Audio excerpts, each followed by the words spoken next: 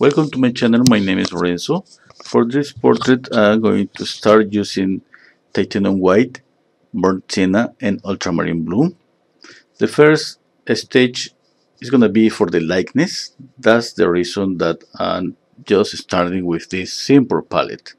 First we need to pay attention to the proportion of the face, the measure measurements of the face, of his face specifically of course. Now I just mixed two values, one for the light and the other for the darks. I'm starting with the dark value just to make the draw and then with the light I make the difference between light and shadows. Uh, you can see the axis of his face that are not parallel.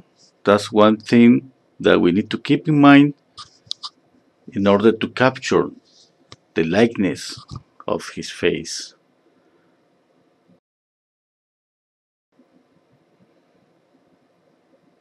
Uh, making some details, I created just a third value and after this uh, I'm going to create a fourth value.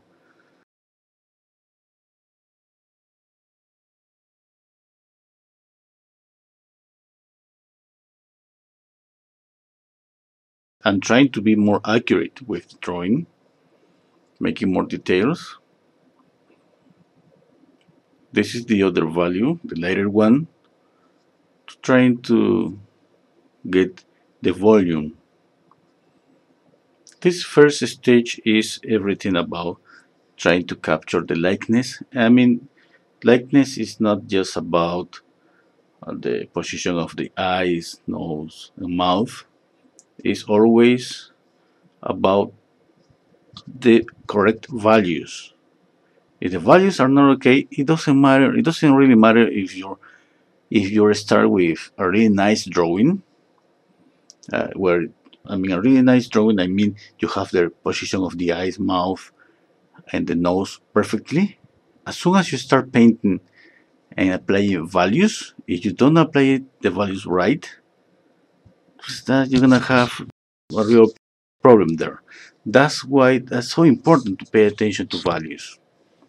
That's what I'm doing in this uh, first stage. That's the reason I have used this very simple palette because it's easy, it's like making a drawing. Now I'm making more details. As you can see now, if I don't know if you notice that I have a mistake right now. My eyes are kind of bigger. That is a common mistake. You usually used to paint the eyes bigger. We gotta pay attention to that because we are we are not aware of something that's so common. We couldn't leave it that way. And at the end that's gonna be kind of difficult to make the corrections. In this first stage is the time for paying attention to everything proportion, likeness, light and shadow, midtones, everything. The next layers are going to be for color, for adjusting the values, adjusting the likeness. I, I mean, I'm gonna, I have to move mouth, nose, and eyes. In this case, reduce the eyes. Maybe I'm gonna move the mouth a little bit up or down, I don't know but I gotta be sure that all the things, all the corrections are not gonna be so, let's say, drastic in the next stages. That's why I can just uh, take a lot of time in this first stage. I can make it in two or three sessions. Okay, it doesn't matter with the same palette, just to get as much as, as I can the proportion measurements and the likeness. At least 60% of the likeness.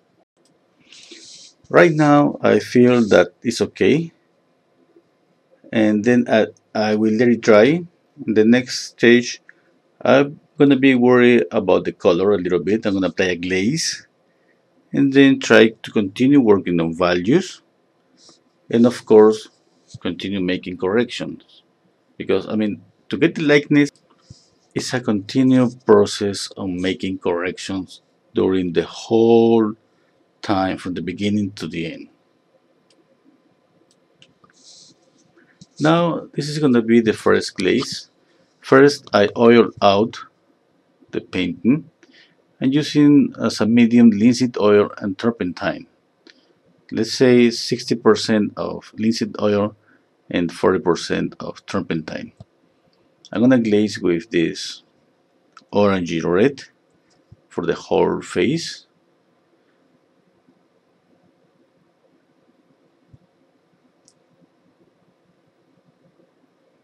Now I'm applying the light. It's almost but it's really a, a light color it's almost white but it's not white I mean I mix uh, yellow a little bit of yellow and red it's going to be a, a really lighter, lighter orange. As you can see, uh, this the lights that I'm applying now is uh, without any solvent. The first layer, the red layer, is a glaze, which means it has a lot of medium. But this light, it doesn't have any medium. In this way, I can blend them together very easily.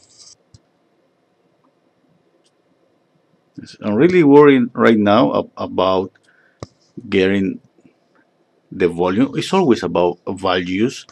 You gotta be worried always about values. And at the same time, I'm trying to get, let's say, a nice skin color, not so close yet, because it's gonna be, I mean, this case, this particular painting, I'm gonna, I'm gonna make maybe three or four layers of painting. That means I gotta take the time just to go step by step uh, because of course one of my main concerns is about getting the likeness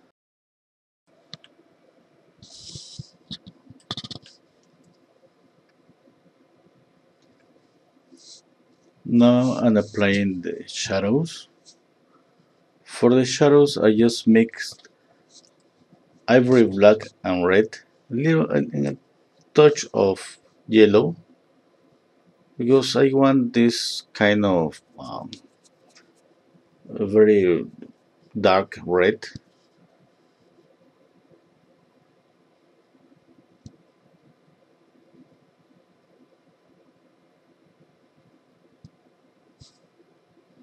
Right now I can see more clearly the difference between light and shadows. After applying this, I'm going to blend the layer.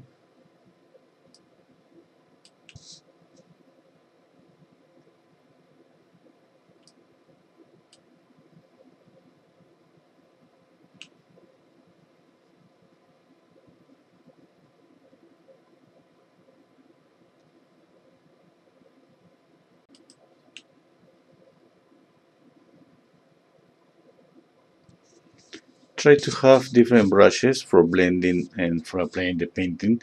For blending I have like maybe six or eight brushes in different sizes.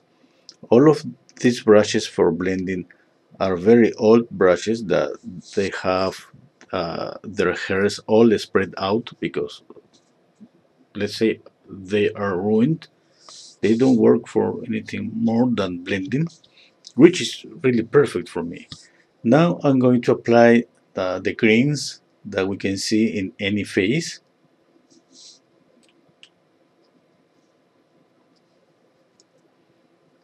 We, I apply with br one brush and then blend with another brush. This is the whole process about this. With the light, the shadows, and with this variation of colors.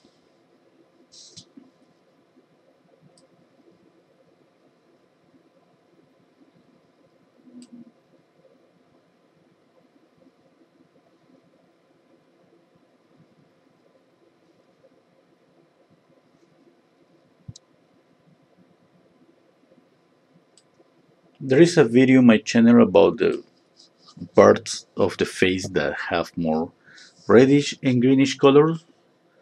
I'll uh, leave you the link of the video in the description.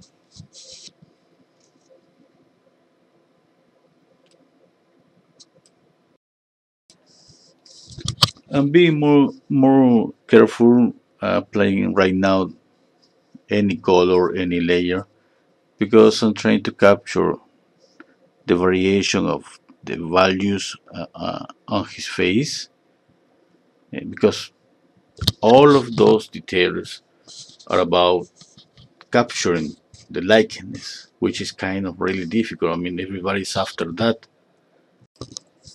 I let the painting dry for a couple of days. Now, in order to create more volume, we have to apply more oil, more thick oil to the light. That's a rule, basically. It's that's so, so common to do that. You remember that always we paint the lights thicker and the shadows thin. What I'm trying to be careful in this stage is just trying to be accurate with this color because it's a impasto and sometimes I have, I have made a mistake before and I applied this impasto kind of lighter than the color of the skin.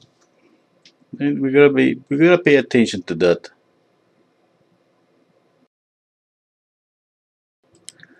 We need to be aware of every step in the process. Okay there is an order that I'm following in order to create volume in order to create the, the likeness. This is a process that I have used so many times and it worked for me.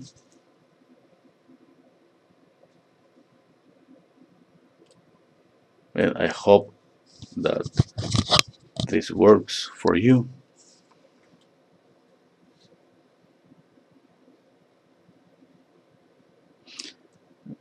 I'm using just a small brush and accumulating the painting just there. It's not like a heavy, heavy impasto with a bigger br brush and applying a really heavy, big brush strokes. I'm just trying to accumulate little by, by little the painting.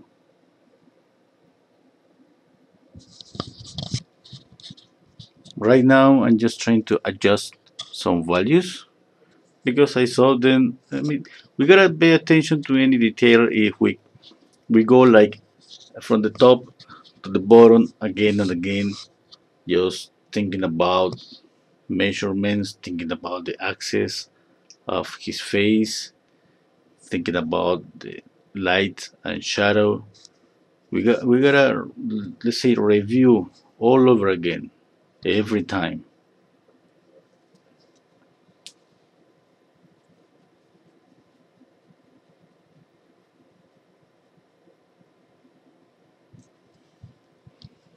I'm going again with some green colors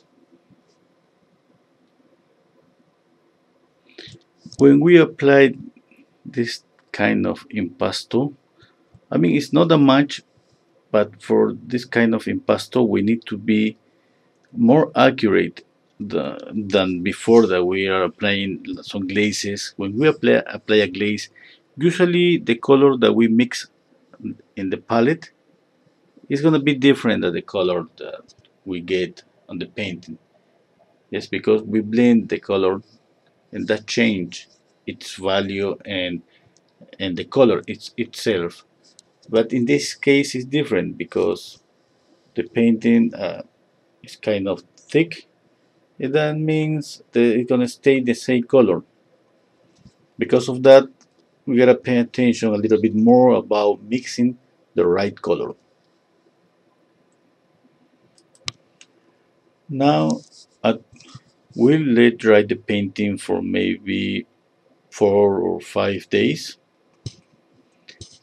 As you can see now, I make this uh, white, black and white video and image in order for me to compare the values.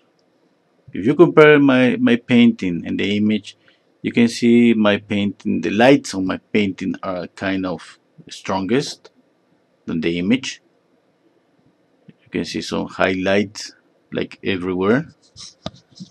And now, now what I'm going to do now is uh, try to even all the light of the face uh, to try to just to get uh, get rid of those highlights everywhere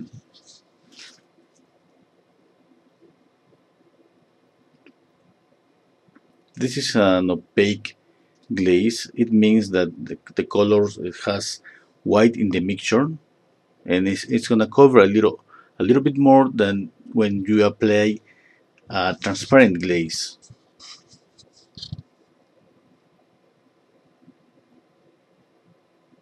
I apply the painting and I blend with another brush.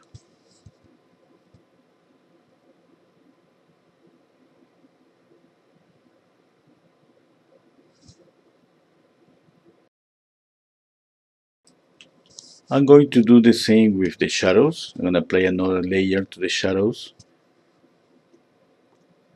And now I'm going to add again the greens on the face. Remember these greens part of the face have to be very subtle, have to be very transparent. There are some faces that you can see very clear the difference between the reddish or grayish parts of the face or and the, the strongest or more warm like the nose, the cheeks, the chin. But there are some faces that you don't really see those colors. Yes, but I mean, that's kind of necessary when you paint that you need to apply those colors because the vari this subtleties, this little variation, is better for is better for a painting. It looks better if you just if we just paint something flat. That's gonna be like making a drawing with just one color. And if I mean, if you don't see those green variation or blues or purples or any other colors, I advise you to apply them. Just a little bit, just so subtle, uh, but apply them. Okay, that's going to be better for your painting.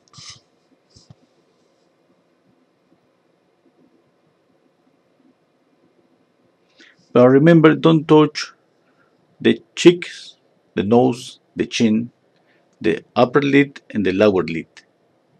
Those parts used to be reddish, used to be warmer.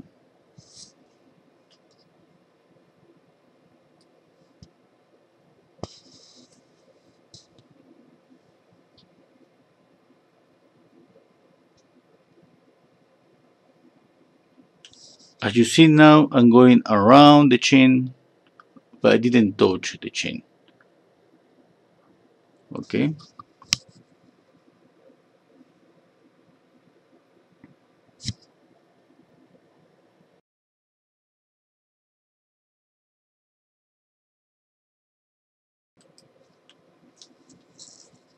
From here is just about making details not speaking about painting like eyelashes hair by hair or the eyebrows. When I say details, I prefer thinking about those subtleties of the values between light and midtones. Those small subtle values, that's the ones that makes a difference in your painting.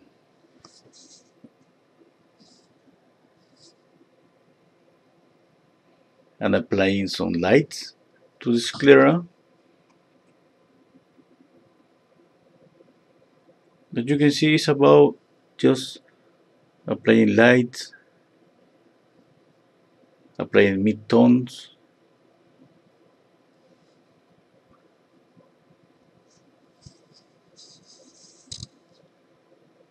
It could take me like two more sessions to do this. Just go with a really small brush, going over again and again, trying to correct the values.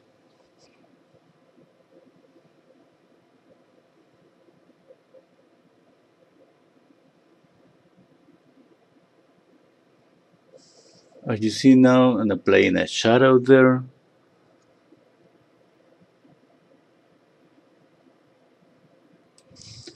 I hope you enjoyed the video. If you like it, please press the like button and subscribe to my channel.